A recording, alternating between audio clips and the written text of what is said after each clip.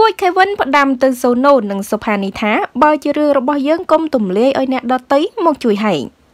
ខណៈរឿងរ៉ាវរបស់តារាចម្រៀងលោកកែសុណារ៉េតហៅសូណូនិងច័ន្ទសុផានីកំពុងតែក្តៅដូចបាយពុះព្រោះតារាហងមាសស្វែងរកមេធាវីតុបតុលនិងបង្ហាញភ័ស្តុតាង ការផ្ទេរលុយទៅសុផានីរយៈពេល2ឆ្នាំចុងក្រោយទប់ទល់ទៅនឹងការដែលអតីតពិធីការនីរូបនេះថាលោកមិនដែលផ្ដល់លុយឲ្យប្រពន្ធកូនគ្មានទំនួលខុសត្រូវជាប្តីនិងជាឪពុកគេនោះ ពេលនេះលោកគួចខេវិនដែលជាអតីតអគ្គនាយករងទូរទស្សន៍ CTN, CTV និង ETV នោះបានលើកជាចម្ងល់ផងនិងផ្ដល់ជាគំនិតដល់អតីតប្តីប្រពន្ធតារាមួយគូនេះផងតកតងរឿងនេះម្នាក់ម្នាក់យកត្រូវរៀងរៀងខ្លួននាំឲ្យមានភាពចម្រុងចម្រាស់កាន់តែខ្លាំងដោយសារតែពួកគេមិនយល់ចង់គៀងផ្ទះអ្នកណាភ្លឺផ្ទះអ្នកនោះលោកគួយខេវិនដែលធ្លាប់រាប់អាននឹងធ្វើការងារសិល្បៈដល់លោកសូណូនិងសុផានីនាពេលកន្លងមក បានចេញសារថា មានអារម្មណ៍ចង់ប្រាប់ថា មាន3ចំណុចទី1ហេតុបច្ច័យផល2សូណូចាំងសុផានីនិងកូន ទី3សូណូសុផានីកូនឪពុកម្ដាយហើយនិងសង្គមខ្ញុំស្គាល់សូណូច័ន្ទសុផានីតាំងពីនៅក្មេងៗមិនទាន់ល្បី រហូតលេងល្បី តាំងពីមិនទាន់ស្រឡាញ់គ្នា រហូតស្រឡាញ់គ្នា រហូតបែកបាក់គ្នា តែមិនទាន់បានស្គាល់ច្បាស់កូនក្មេងម្នាក់ដែលជាកូនរបស់ពួកគេជាដំណក់ឈាមរបស់ពួកគេទាំងពីរ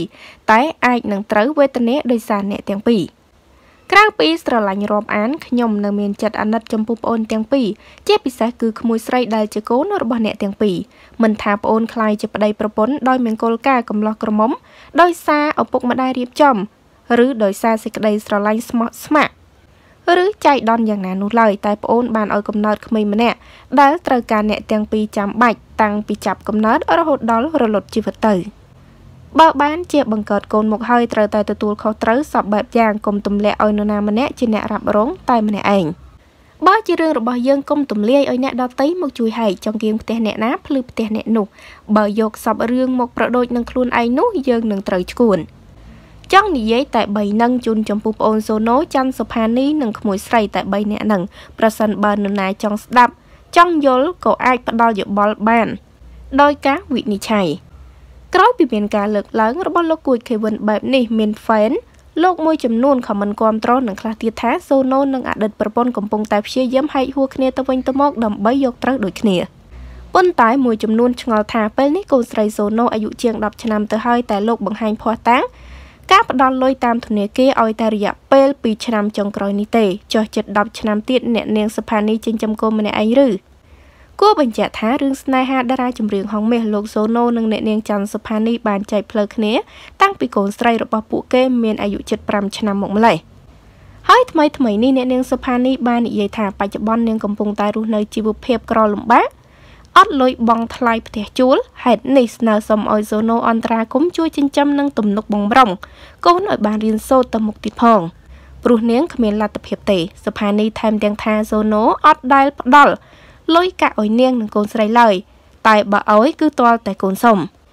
តើបធ្វើឲ្យនាងមានអារម្មណ៍ឈឺចាប់ខ្លាំងណាស់ ប៉ុន្តែសូណូបានពឹងមេធាវីរបស់លោកឲ្យធ្វើរឿងនេះដោយលោកបានបញ្ចេញភ័ស្តុតាងធ្លាប់បាញ់លុយទៅកងសុផានីជាច្រើនពាន់ក្នុងរយៈពេល2ឆ្នាំចុងក្រោយនេះសូណូថែមទាំងថានឹងធ្វើរឿងនេះម្ដងឲ្យចប់គឺសង្គ្រប់យកតែម្ដង ហើយលោកបានឲ្យមេធាវីចាត់ការមែនខណៈដែលសុផានីថានាងសប្បាយចិត្តណាស់បើសូណូប្តឹងនាងព្រោះនោះគឺជាឱកាសមួយដែលរូបនាងបានតទល់ជាមួយអតីតប្តីដោយផ្ទាល់ដោយសារតែចាប់តាំងពីចែកផ្លូវគ្នាមកនាងមិនដែលបានជួបជជែកអ្វីច្រើនដែលខ្លួនចង់និយាយទៅកាន់ឪពុកកូនស្រីរបស់នាងម្នាក់នេះឡើយ។